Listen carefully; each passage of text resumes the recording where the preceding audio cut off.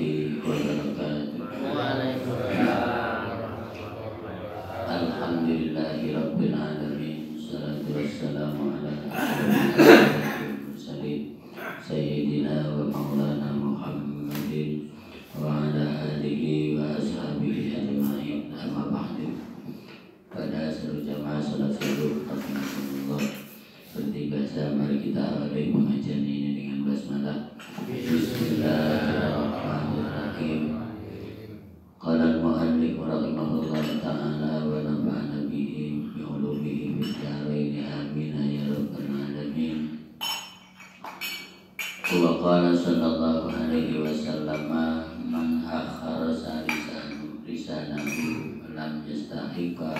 Muhimmati.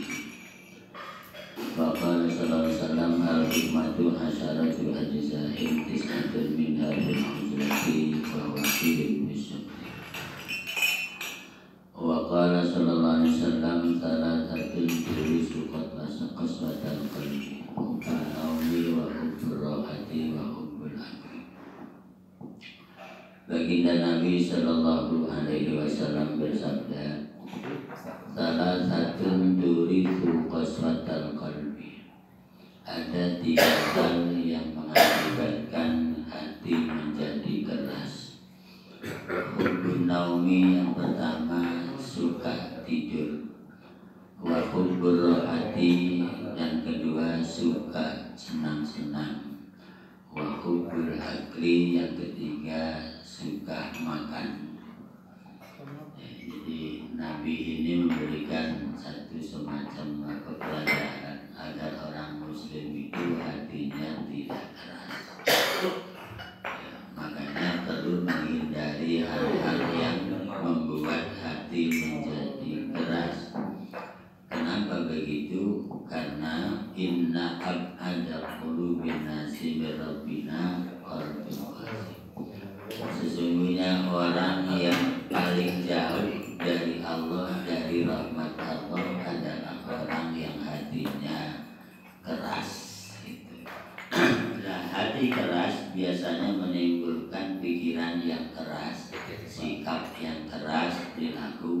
yang keras. Makanya Nabi tidak mengingat itu supaya umat Islam menjaga hatinya tidak keras. Kalau tidak keras berarti menjadi orang yang ramah, yang santun, yang san- yang lembut sikapnya dan ucapannya. Maksud Rasul begitu. Oleh karena itu disuruh menghindari hal-hal yang menyebabkan hati menjadi keras. Pertama yang menyebabkan hati keras adalah suka atau hobi tidur. Hobi tidur. Hmm? Iya, yang menyebabkan hati menjadi keras itu satu suka tidur atau hobi tidur. Salah, iya orang-orang nyebutnya pelor, iya. Oh, pelor, asal nempel molor. iya. Ya bahasa lagu itu kan pelor. Pelor, nempel molor. Iya yang kasihan orang lagi penting-penting ngobrol serius dengan dapat jawaban dia lagi ngobrol tidur. kasihan yang beraudiens. Ya. Kalau orang kecil nggak apa-apa, kalau orang besar kan kasihan perangkatnya. Kalau pengen ngobrol dia tidur di kursi, itu kan ya. Mungkin atau bagaimana. Makanya di sini perlu menghindari. Ya banyak tidur terlalu banyak tidur. Jadi hobi tidur lah maksudnya membunuh gitu. Ya jadi orang hidupnya berteman dengan bantal terus-terusan dia nggak baik. Nah inilah cuman kan orang itu tidurnya perlu diatur bahasa kedokteran kan pasti kita tahu. Kalau bahasa medis itu tidur yang ideal kan 8 jam pagi 8 jam maka tidur jam. Ya cuman kalau tidurnya malam sampai 8 jam tahajudnya bablas iya. iya. jadi itu kan bahasa kedokteran nah kita juga perlu mengikuti ajaran Nabi bukan kedokteran yang kontra dengan ajaran Nabi. Kalau kedokterannya nggak kontra sama ajaran Nabi nggak apa-apa kan? Pak Haji tapi yang kontra ya jangan karena kalau tidur kebanyakan tahajudnya bablas hatinya jadi keras gitu maksudnya karena kebanyakan. Jadi yang bagus gimana? Ya dibagi aja sih malamnya jangan sampai 7 jam supaya bisa tahan tahajud. Nanti kurangnya dibagi dengan tidur siang gitu Haji ya diganti dengan tidur kaidulah. Tidur kaidulah itu tidur siang disebut kaidulah. Itu juga senang nabi itu jadi jangan di malam semua jam nanti gak tahajud takutnya ya kan? Ya semang malamnya tidur lima jam setengah jam lah gitu nanti kurangnya diganti siang namanya tidur kaidulah. Itu juga dianjurkan. Cuma tidur kaidulah itu sebenarnya tidur pelepas lelah pelepas lelah itu habis aktivitas capek kan? Kalau zaman dulu kan aktivitas lelah itu karena Indonesia negara agraris gitu ya. Jadi habis dari sawah gitu pagi habis dari sawah habis dari kebun gitu kan. Pulang jam 11 mandi sholat duha tidur kailulah kalau zaman dulu ya. Ya sekarang kan udah udah negara setengah industri walaupun belum negara industri ya kan? Agraris setengah gitu pak ya industri setengah gitu kan negara kita. Ya kalau pengen negara maju sekalian kayak Jepang negara industri gitu.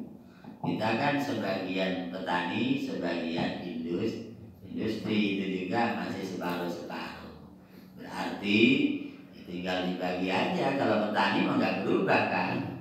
Jam setengah sebelas sudah dari sawah ya kan sampai mandi sholat duha habis itu tidur kailullah duhur sholat duhur gitu kan ya. Tapi kalau yang kerja di kantor kan nggak bisa pak, ya susah beda lagi. Kerja di pabrik apalagi lebih susah lagi ya kan. Jadi gimana? Tinggal dibagi aja situasinya sesuai dengan syariat yang ada. Ini banyak tidur, cuman kan begitu orang hidup itu memang beda-beda. Ada yang memang ditakdirkan suka tidur, ada yang ditakdirkan suka begadang. Saya kan tadi. Dikasih mentalnya beda-beda. Ada yang suka tidur ada yang suka begadang. Yang bagus gimana di tengah-tengah lah. Jangan suka tidur jangan suka begadang. Ya di tengah-tengah aja. Ya. Ada orang memang ditakdirkan suka tidur. Jadi ngobrol begini ya ngantuk. Ya kan ya temennya kasihan ngobrol kan. Di mana aja belajar di sekolah juga dengerin guru sebentar udah tidur. Ada kan ya Pak? Mau ditakdirkan begitu itu ada. Cuman yang menarik ada orang yang memang suka tidur tapi cerdas. Jadi di, di mau di sekolah mana sekolah di mana itu dia tidur aja. Tapi prestasi nilainya tertinggi aja. Jadi ada yang dikasih suka tidur tapi dikasih kecerdasan lebih juga ada orang mau tidur aja, belajar enggak, tapi pinter aja itu ada gitu. Jadi beda-beda takdir manusia. Ya, selanjutnya yang menyebabkan hati keras yang kedua selain tidur kata Nabi di sini kubur roha. Roha itu kan berasal dari kata raukun. Raukun itu kesenangan. Makanya kan orang meninggal itu disebutnya min rauhikunya ila akhir. Dia meninggalkan kesenangan dunia menuju akhir akhirat. Jadi rauhun roha. Makanya bahasa Arabnya istirahat itu roha. Dari kata rauhun rauhun kesenangan. Artinya capek lah.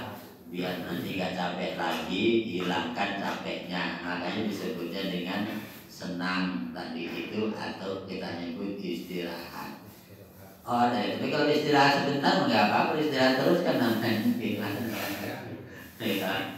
Jadi orang hobi kesenangan, nuruti kesenangan itu kan nuruti namanya nuruti nafsu.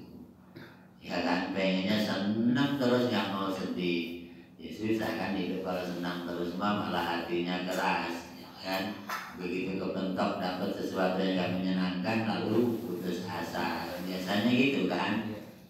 Itu manusia.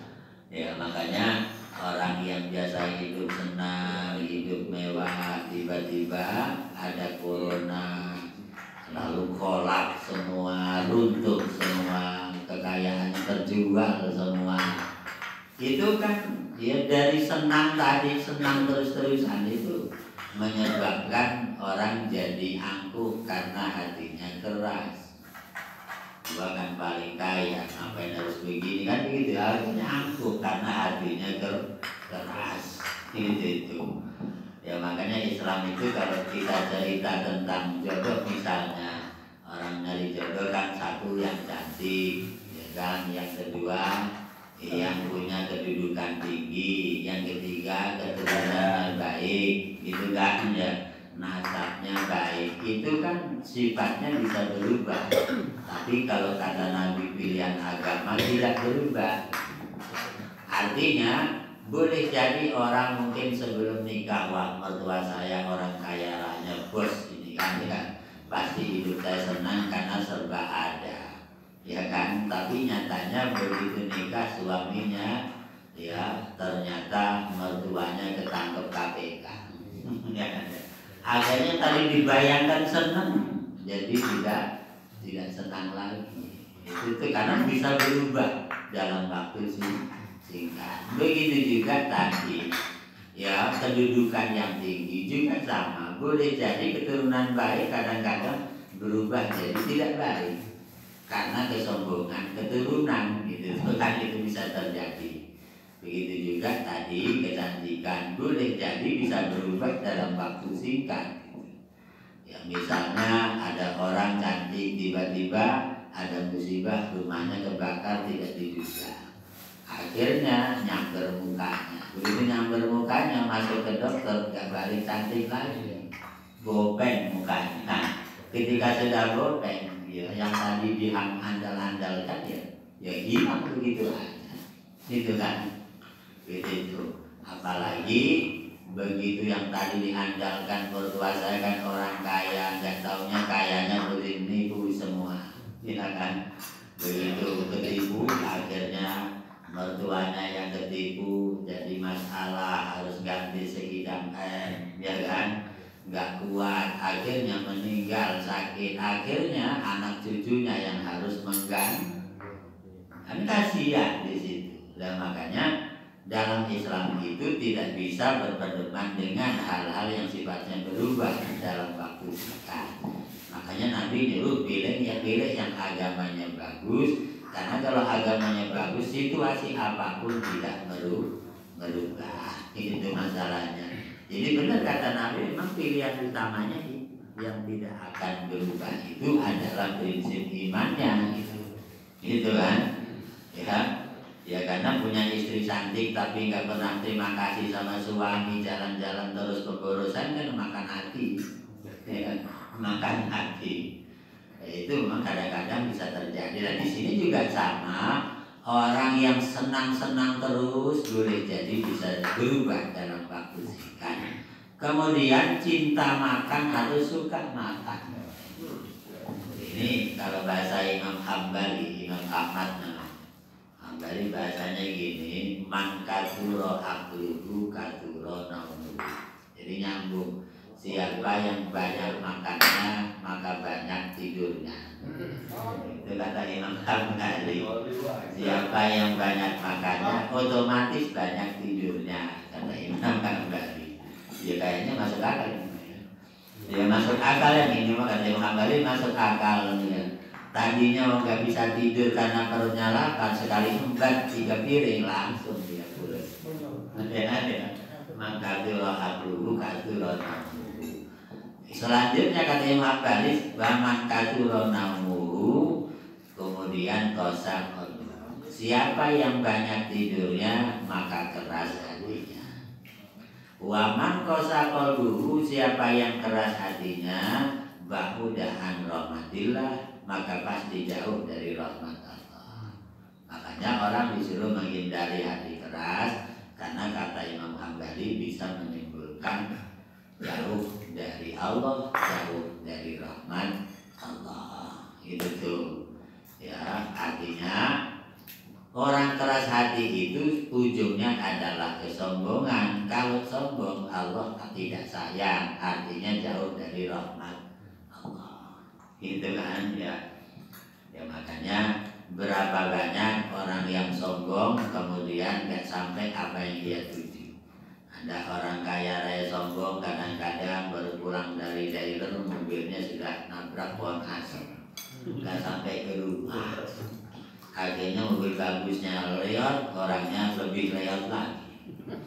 Ya kan itu. Itu kehidupan makanya hati yang keras itu menyebabkan kesombongan keangkuhan dan ketidak peduli pedulian itu biasanya ke sana.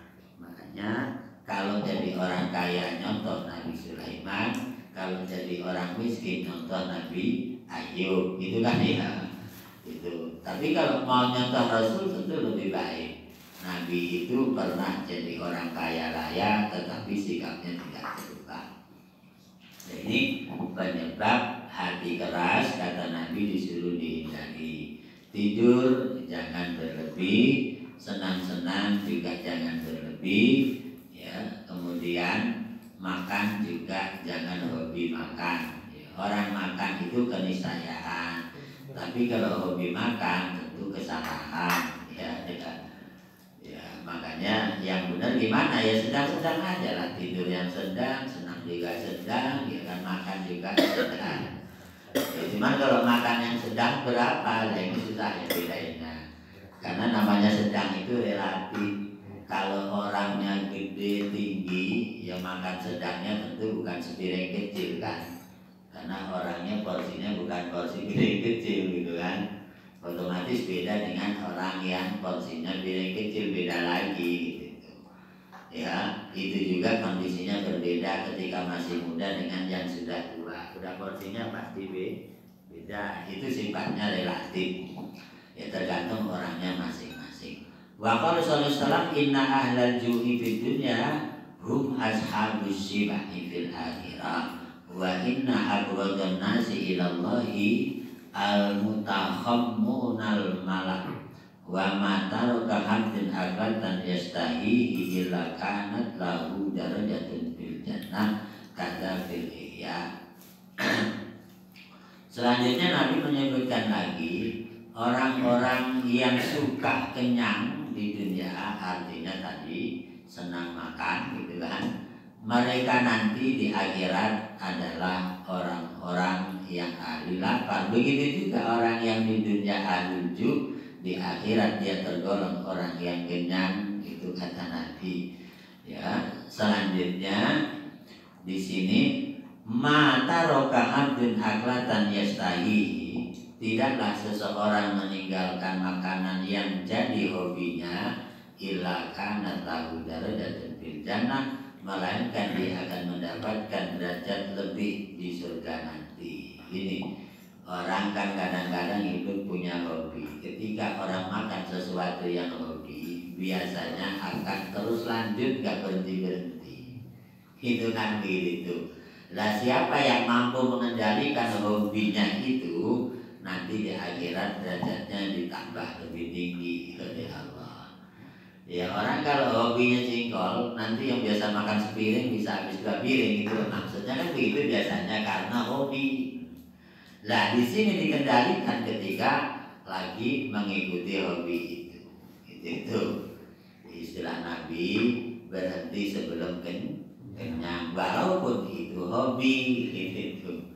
Berhenti sebelum kenyang itu maksudnya gimana kalau porsi kenyangnya 20 suap 18 berhenti itu namanya berhenti sebelum sebelum kenyang tapi bukan berarti kekenyangan loh ya sebelum kenyang kenapa? Karena kalau di situ diikuti maka berarti perut besarnya itu jadi sehat terus. Ya kan? Karena perut besar itu kan perlu air perlu makanan perlu bernafas pernapasan harus dibagi tiga secara adil. Kalau dipenuhi makanan sampai penuh lah airnya nggak kebagian, napasnya nggak kebagi, nggak kebagian. Kalau napasnya nggak kebagian, makin ngos-ngosan repot nantinya. ya kalau nggak nafas misalnya corona kata orang kan kalau corona katanya napas napasnya susah ya jadi yang bagus kayak ajaran Nabi tadi kan berhenti sebelum kenyang supaya kebagian semua ambil terhadap porsi isi perut besar. Wa fi haditsin sahihin di Tabrani an Ibnu Abbas anna hada sibahi fid dunya hum ahlul juhi ghadan bil akhirah. Ai fi zamanil lahiqi ba'dal mauti. Ya intinya orang di dunia kalau dia nggak nuruti sahabat makan berlebihan tidur berlebihan insya Allah di akhirat dia lebih bahagia apakah yang lain nggak bahagia bisa juga yang lain bahagia cuma dia dapat nilai selanjutnya Bapak Salam man akala fauqas samai faqad akala Siapa kata Nabi yang memakan sesuatu melebihi kenyang? Berarti kekenyangan gitu ya. Fakot akal al haram berarti dia telah makan sesuatu yang haram. Ya Jadi begini Makan itu kalau kenyang nggak haram Kalau melebihi kenyang namanya kekenyangan jadi haram Walaupun makanannya haram Hal haramnya kenapa? Haramnya karena berlebihan. Yang bahasa Quran, Innallaha la yuhibbul wa la. Janganlah kamu berlebihan karena Allah tidak menyukai orang yang berlebihan konteksnya makan. Jadi makan kenyang boleh, kekenyangan gak bu? Gak boleh, karena kalau kekenyangan kata Nabi bakot akal berarti makan sesuatu yang haram. Oleh karena itu, ya ukurannya tadi kenyang aja. Ya, cuman kan kenyang itu begini. Kalau orang itu istilah kesehatan, kalau kenyangnya orang tua, yang bagus kenyangnya banyak air, seperti bubur gitu kan. Ya, makanan yang yang apa? Yang banyak air ya, bubur, sayur gitu Ya itu mensiasati cepat kenyang walaupun nasinya cuma dua suap Tapi sayurnya dua piring Lalu itu yang sehat bagi orang tua ya Pak Ya tapi kalau anak muda ya mungkin beda lagi Anak muda makanannya yang banyak ya. Karena kalau orang tua nggak gitu itu kan nantinya bisa repot ya Karena pencernaannya belum sudah tidak sekuat tapi muda Jadi gilingnya sudah repot kalau anak muda kan penggilingan makanannya masih kuat. Tapi kalau udah tua, ya penggilingannya repot. Makanya kalau udah umur 70 ke atas hobi sate, kasihan perutnya. Jangan ya. Udah sepuh penggilingannya udah ini suruh giling sate lagi. Udah begitu satenya kurang matang, kurang empuk lagi. Ya udah kerepotan di sana. Makanya kasihkan anak muda aja, kasihkan anaknya lah. Masa udah umur 8 bulan masih habis sate aja. Nanti kasihan perutnya. Dari situ makan halal minum halal itu kalau lewat kenyang kata Nabi dianggap haram. Nah ini biasanya nafsu sawat itu gak terkendali ketika ketemu hobi tadi. Ya kan? Orang lagi undangan kebetulan yang hajat orang orang kuat ya orang kaya. Akhirnya serba ada satenya ada satenya ada 10 jenis sate saking kayanya. Jajanannya juga bisa puluhan jenis. Nanti kan akhirnya pengen dicobain semua. Ya ya lah kalau nyobain sate 10 jenis sate aja kan udah satu-satu aja udah lewat kenyang ya bagus ya apalagi dua tusuk. Ya satu-satu aja udah 10 tusuk kalau 10 jenis. Ditambah lagi esnya juga esnya macam-macam ada es doger, es fondant, es apa aja. 10 es diambil semua lah. Ini mentang-mentang lagi hajat kemudian perutnya di ikuti terus. Lah itu bisa berbahaya dalam Islam sampai dianggap kayak makan sesuatu yang haram karena ujungnya nanti pasti muntah ya kan kalau kekenyangan ujungnya muntah kan Ya kalau muntah kan berarti tadi nggak jadi gizi, nggak jadi apa, udah jadi muntah. Ya kan? Ibarat gelas sudah tumpah, nanti apa aja tumpah masuk balik lagi ya enggak kan? Jadi kayak begitu. Makanya sebenarnya mengendalikan nafsu makan itu mau tidak mau keniscayaan bagi siapa pun. Ini karena khawatir menimbulkan keharaman walaupun bendanya itu selanjutnya di sini wa akhrajal baihaqi an Ibrahim bin Ali ad-Duhri qala ikhtaral hukama min kalamil hikmah ini selanjutnya asluku lidain al barodah bi fathil atukhma ini asluku lidawain kata Nabi pangkal segala macam penyakit atau asal usul segala macam penyakit al itu adalah berlebih dalam makan. Itu jadi makan berlebih itu kata Nabi justru penyebab penyakit paling awal ya, ya karena tadi berlebih kan makan berlebih menjadi awal kali orang kenal penyakit. Ya ya karena biasanya tadi nggak terkendali. Ya saya pernah nanya ada seorang kawan dirawat di rumah sakit Fatmawati Jakarta Selatan. Karena dia pegawai DKI dulu bapaknya orang kaya raya.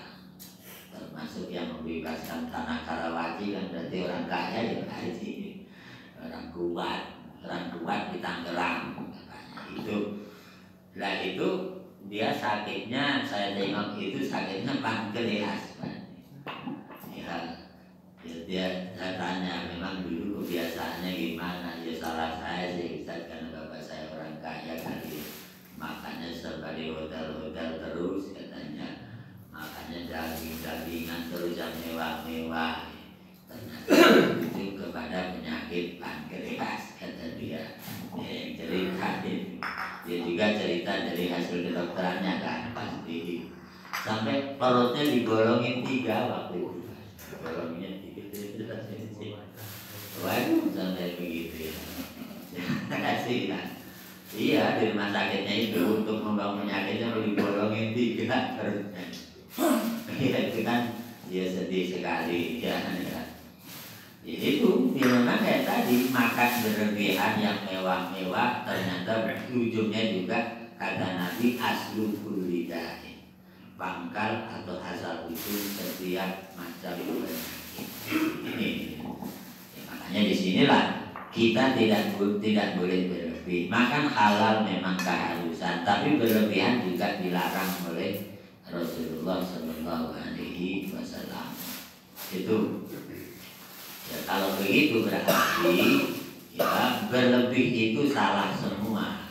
Baik berlebih dalam makan berlebih dalam berpikir berlebih dalam tidur semua berlebih salah semua berarti ya ya. Iya gitu.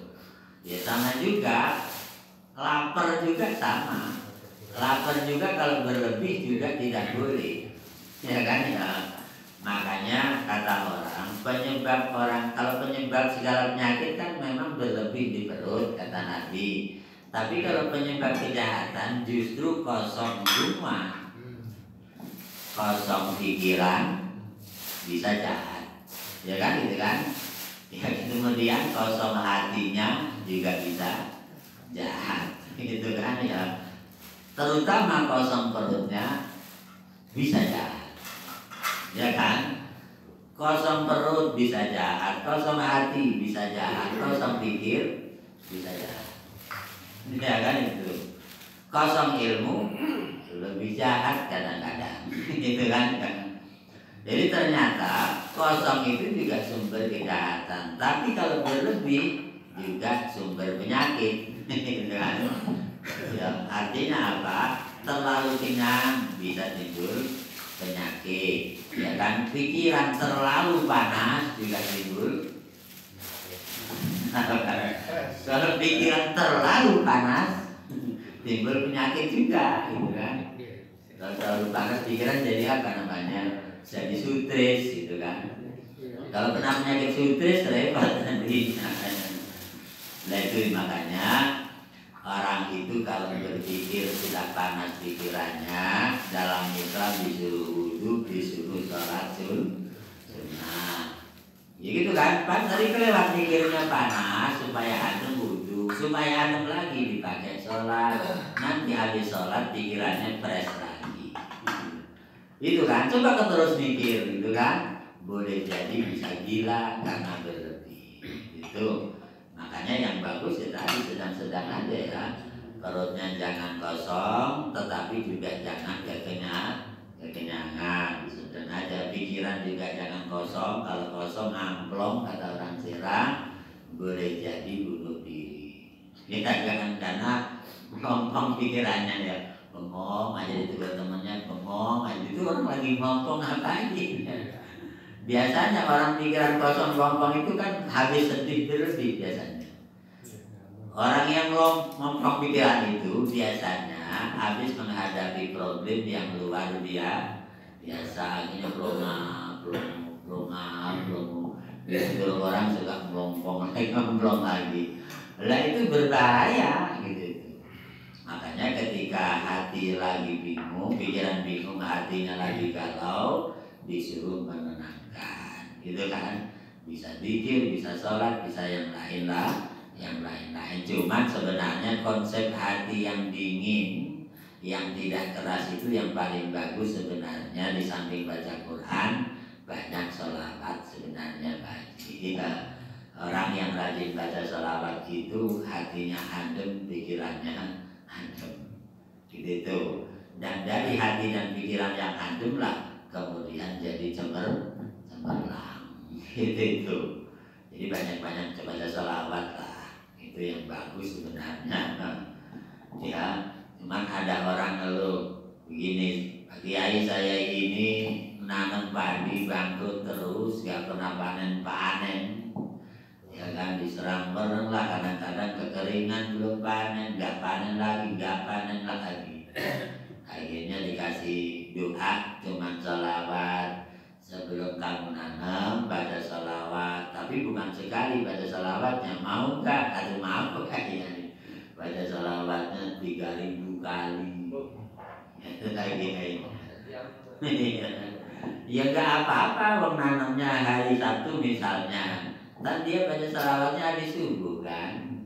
Tiga ribu kali baru kesah kesah ya setelah itu setelah lagi kepada kiai yang ngasih sholawat itu. Gimana? Alhamdulillah Pak Kiai dengan doa dengan izin Allah akhirnya dikasih keberkahan sholawat Nabi.